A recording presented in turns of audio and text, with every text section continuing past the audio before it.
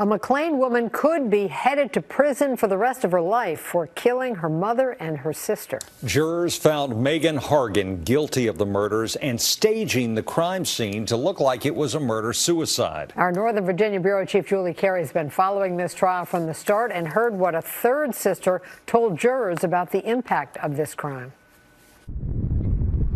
A family destroyed over jealousy and money. That's how prosecutors portrayed this case, convincing jurors that Megan Hargan killed her mom and younger sister to get her hands on money needed to buy a new house. It really is just a terrible, terrible shame that uh, this family has to go through all of this and these lives were lost over $400,000. The bodies of Pam Hargan and her 24 year old daughter Helen were found in their McLean home on July 14, 2017. Pam was in the mudroom, shot twice in her head. Helen upstairs in her bathroom, a single gunshot wound to the top of her head, the rifle wedged between her legs. At first, even police described the scene as a murder suicide, but they soon learned at the time of the deaths, Megan Hargan had been trying to transfer $420,000 from her mom's bank account, money she needed to close on a new house in West Virginia. Perhaps the most crucial evidence Helen called and texted with her boyfriend in Texas the morning of the murders, telling him at one point Megan had confessed to killing their mother.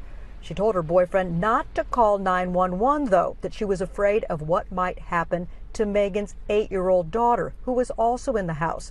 Prosecutors say the decision cost Helen her life. I think it, it would only make sense um, for an aunt to be worried uh, about her niece and her niece's safety. So I think that that adds into the mix and could be uh, one of the prime uh, motivations for her staying in the house. Megan Hargan continues to maintain she's innocent.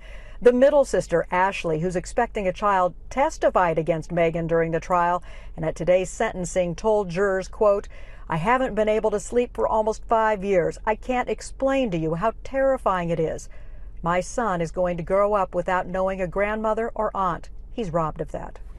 Ashley Hargan Gerber declining comment as she left the courtroom today, but her emotions on clear display. As the jury announced both of its decisions, she burst into tears of relief, falling into her husband's embrace. In Fairfax County, I'm Julie Carey, News 4.